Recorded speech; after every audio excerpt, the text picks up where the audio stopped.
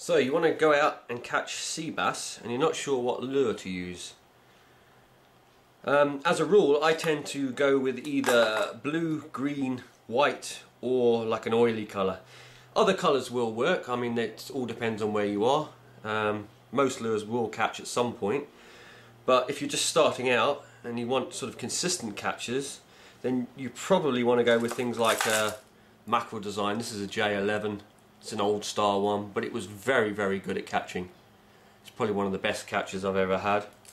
Um, other ones that are very good are the Slither, imitates a sand eel, and they catch really well. The only thing with these, these um, will catch a lot of pollock. So if you've got a lot of pollock in the area, um, and you find yourself that's all you're catching, try and change to something like a mackerel one to try and thin the amount of pollock. But if you want pollock, use that one.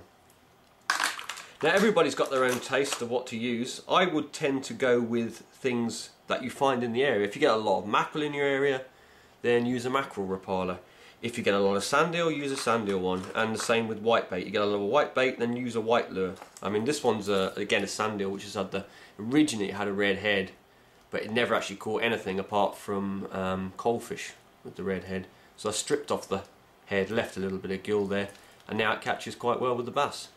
So um, yeah, you get other styles. This is a um, Savage Gear, I believe this one, and it's like a jointed one. This is a really big one, and this is irritating a herring, and they do work. Um, depends where you take. I tend to use this one more on the boat. I do have a smaller version in here somewhere. Um, there it is down here. That one there. And that's just a smaller version. That catches quite well. It's even caught pollock, that one. I've got some other ones, like larger ones, which I would use off the boat.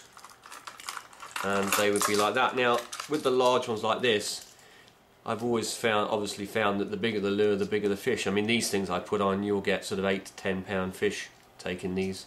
You will get smaller fish attacking them as well, as long as they can get the hook in the mouth, they'll take them. Another fairly good one is a Bonito one, this one here, which has to all the others. It's the only thing with these things, they stick to everything. And that one there. So it's entirely up to you which lures you use. I mean there's a heck of a lot of them on the market.